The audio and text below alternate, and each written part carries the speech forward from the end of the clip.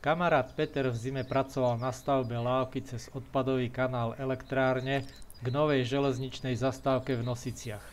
Zabezpečoval dopravu pracovníkov na stavenisko uprostred rieky. Teraz potrebuje svoje plavidlo dopraviť domov. Kánoe môže naložiť na auto a jednoducho previesť. Ale prečo by to chlap od vody robil takto? Nejako sa dopravíme do Nosíc a odtiaľ loďku splavíme.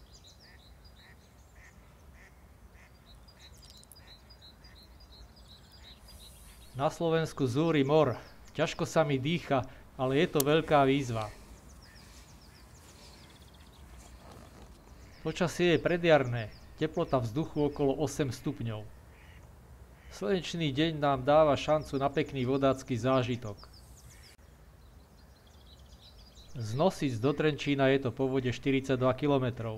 Preto má dnešná akcia názov Nosický maratón.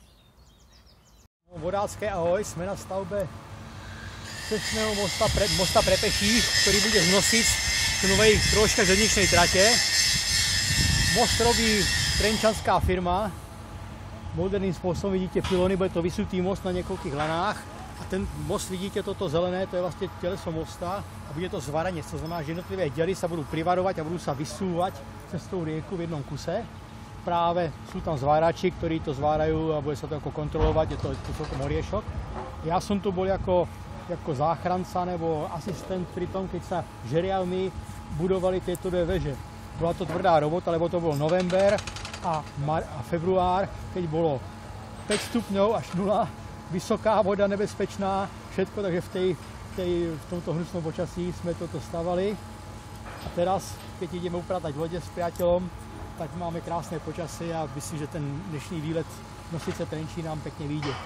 Most by mal byť hotový e, do tohto augusta. V auguste sa bude stanovisko upratovať, ja som znova nastúpim ako asistencia pri rozoberaní tých veží, čo bude celkom problém, lebo teraz podával obrovský žeriav 120 tonový a 250 tonový a mal problémy, to rameno, to znamená, že páka a váha. A teraz na tým bude most, tak to bude trošku oriešok, ale uvidíme, že sú to odborníci poradia asi.